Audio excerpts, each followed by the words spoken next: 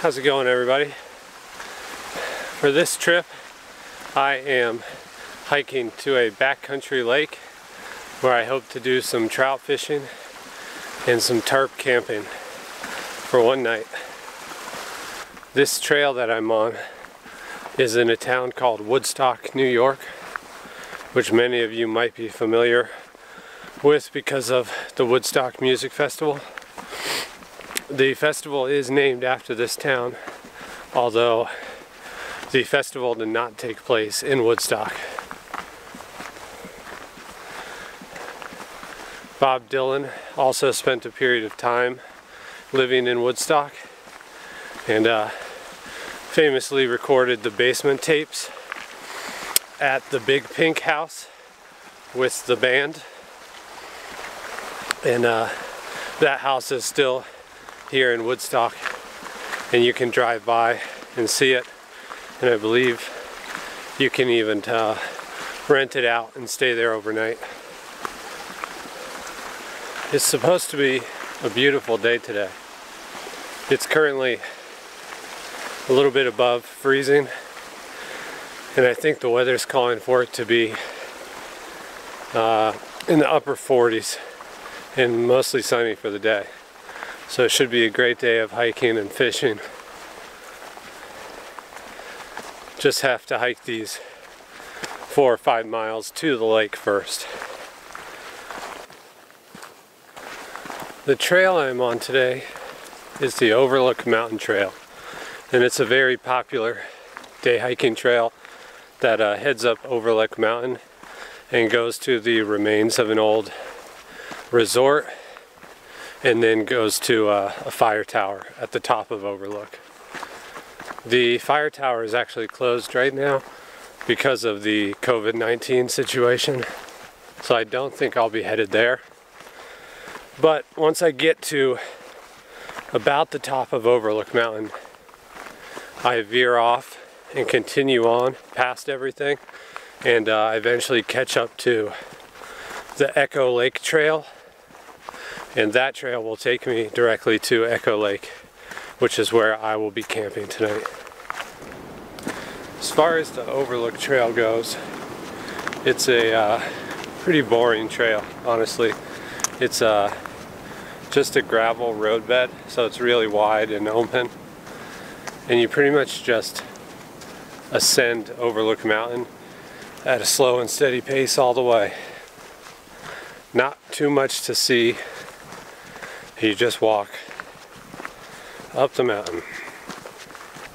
And here are the remains of the old resort. We'll go check these out. I've done this hike before, uh, but I haven't really explored these remains too much.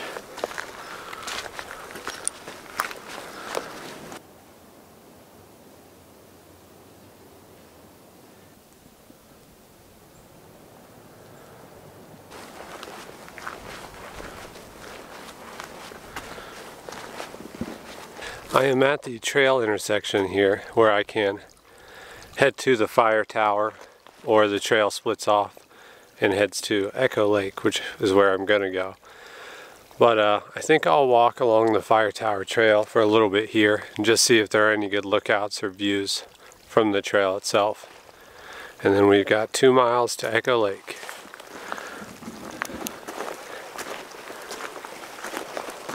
It will be nice to uh, get off of this gravel roadbed and get onto a real trail.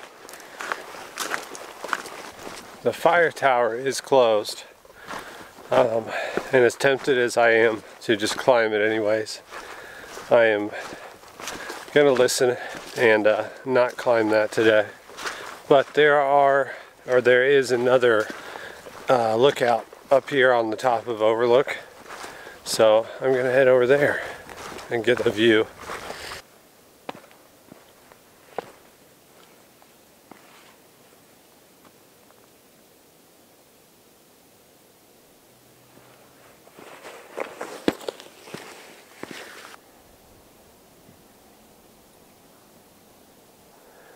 There is the Overlook Fire Tower. can still get an idea of how awesome the views are even without climbing the tower. And you can see they do have, or they did have, the uh, tower blocked off. Someone ripped through it and went anyways. But we're not going to go up there today.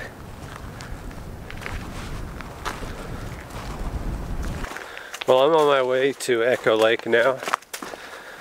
It should be about, the sign said two miles from that trail intersection. So, and it's mostly downhill, I believe. The uh, Overlook Fire Tower is at about 3,100 feet.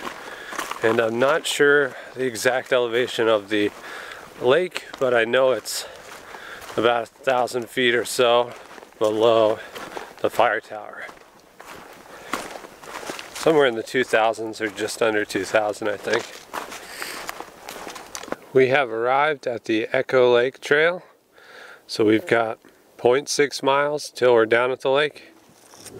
It's been a nice easy hike.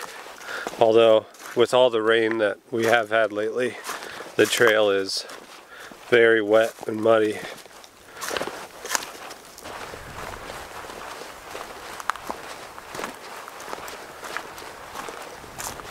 Can see here, Echo Lake does have uh, designated campsites.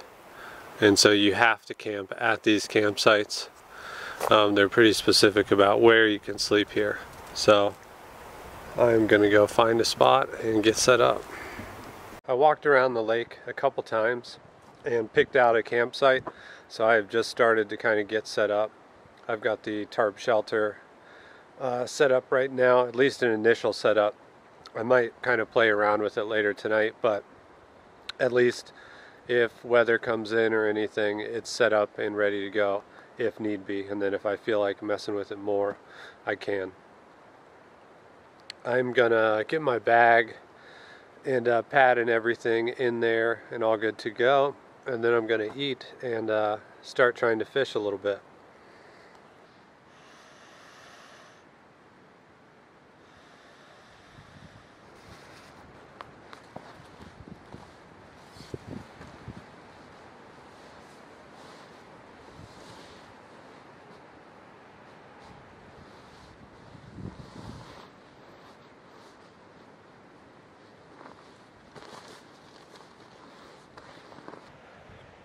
I've got the bed all set up. So I've got the tarp pitched in kind of like a diamond setup. And I've got it tied off to this tree back here. And then I've got a stick here. And then I've got the uh, here, bug bivy. That's what I've got everything inside. Don't necessarily need the bug bivy, but with the prevalence of Lyme disease up here in the Northeast, I think it's worth it just to bring it for the extra protection at night. So I've got that, and then I've got my usual Exped pillow, the Z-Packs 20 degree sleeping bag, and the NeoAir X-Therm under all that. And then once I go to bed and get inside the bivy, I just take this piece of shock cord in this little loop and clip it on to this carabiner up here and that holds it up off my face at night. And that's it. Um, plenty of room in here for gear on either side. It's not uh, supposed to rain tonight, although there is a slight chance of snow. Depending on how, on how the day progresses, I can always drop uh, drop this down lower and kind of readjust the sides if I need to. But it's set up for now and ready to go uh, if I need to get in the tent.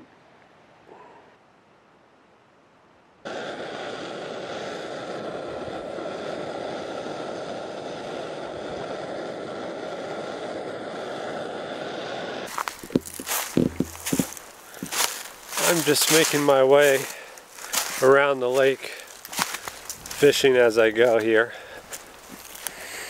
No luck yet.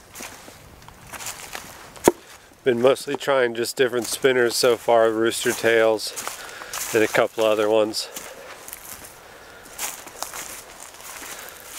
It's not as easy when you don't have a boat to uh, get in the water and go wherever you want. Kind of limited by the parts of the lake here that are accessible.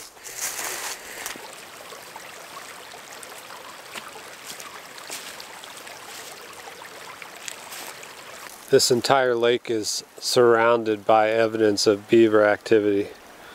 And you can see all the trees they've taken down and the dams that they have built all over.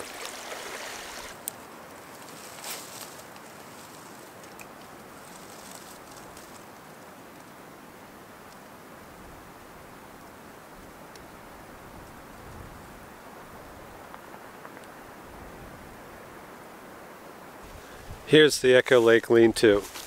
It's uh, definitely a nice site and you've got an amazing view out front of the lean-to. But you can also tell that it's pretty heavily used along with most of the other campsites at this lake. There's just a lot of trash and different remnants left lying around. So in the summertime this is definitely a popular spot. But today I've got it all to myself so far. there hasn't been anyone else out on the lake.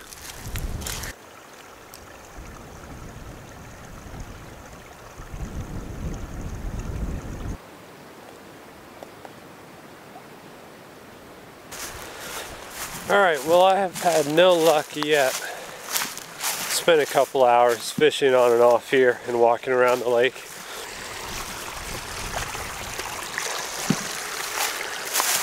I am going to head back to camp and uh, make some coffee and put on some warmer clothes. It's not too cold out really, but there is a real strong wind coming off of this lake and uh, can definitely feel it. So put some extra layers on, get warmed up, and uh, do another lap around the lake. Here is another example of a campsite at Echo Lake.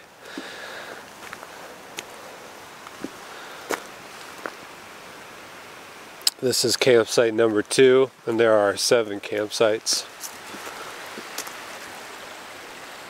It's got a really great view of the lake. The only reason I didn't come camp on this side is just because of the direction of the wind right now. It's really windy on this side of the lake. So I figured I would go back to the other side. My campsite is pretty much directly across the lake from here. It's in all the evergreens on the other side of the lake. It's a really nice spot.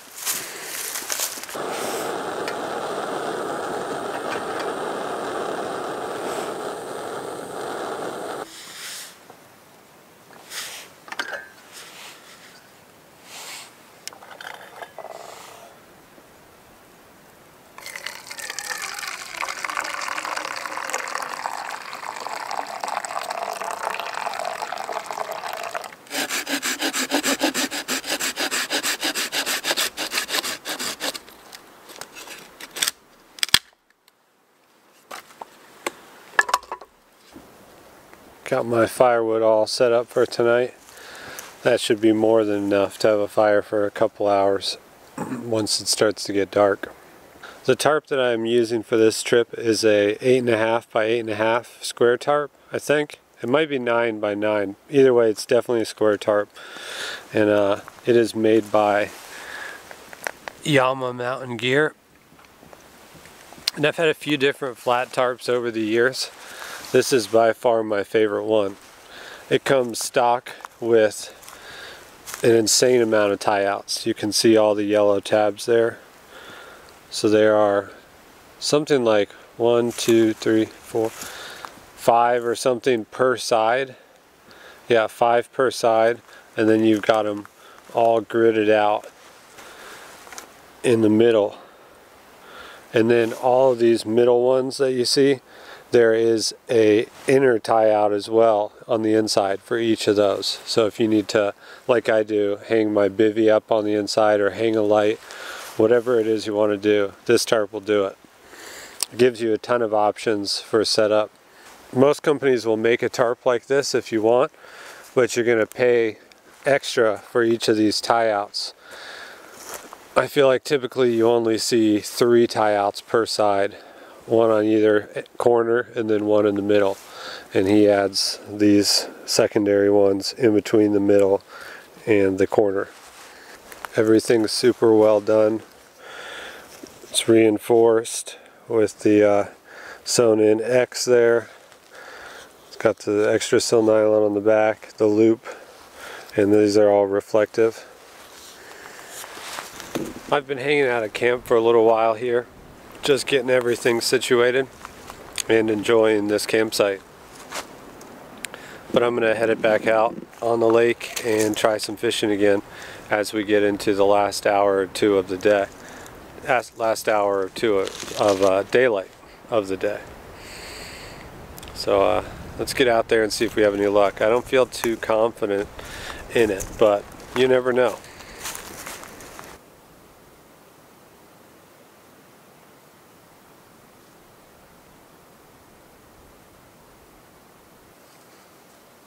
Let's try the next spot.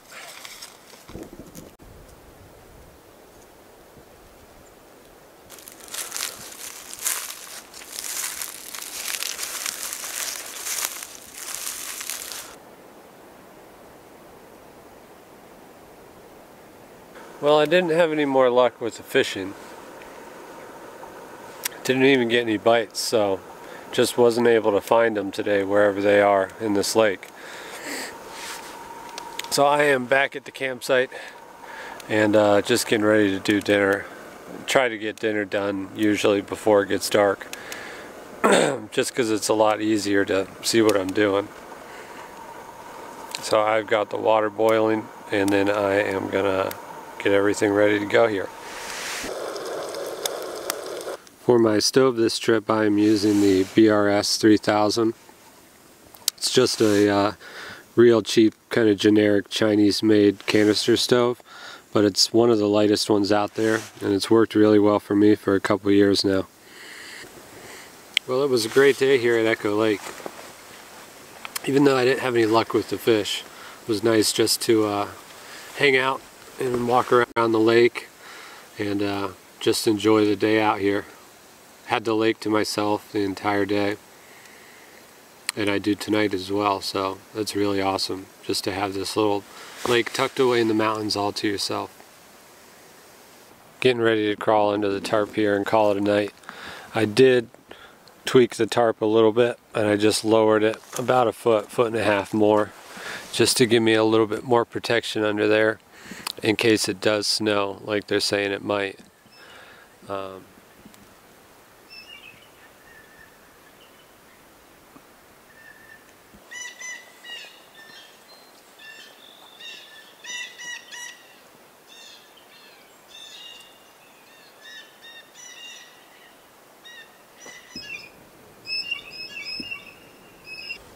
So it is about 8 o'clock or so right now and I am just uh, finishing up with my breakfast and coffee. We did get a dusting of snow last night. I woke up around 4 o'clock or so and the snow was coming down. But uh, not too much really. Just a light coat over everything and it's melting pretty quick with the sun coming out now. I am gonna finish up my coffee here and then I'm going to start packing up everything and getting everything organized and ready to uh, hike on out of here. It's a four mile hike out, so should be a quick one. The tarp worked out great last night. You can see the kind of snow line here where I was protected. Um, and between that and then the bivy on, I didn't feel any of the snow coming down last night although I'm sure some blew in there.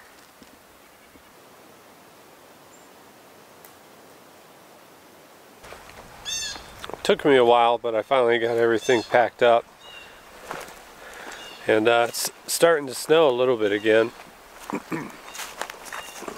I am gonna just walk around the lake and make my way over to the other side.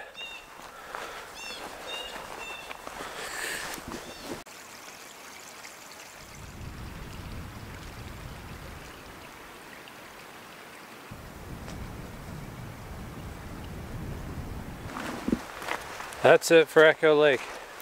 Now I've just got to climb up back onto Overlook Mountain. And then it's just a couple miles hike down the mountain to the trailhead. Should be a pretty quick and uneventful hike out on that uh, just gravel road they've got as their trail.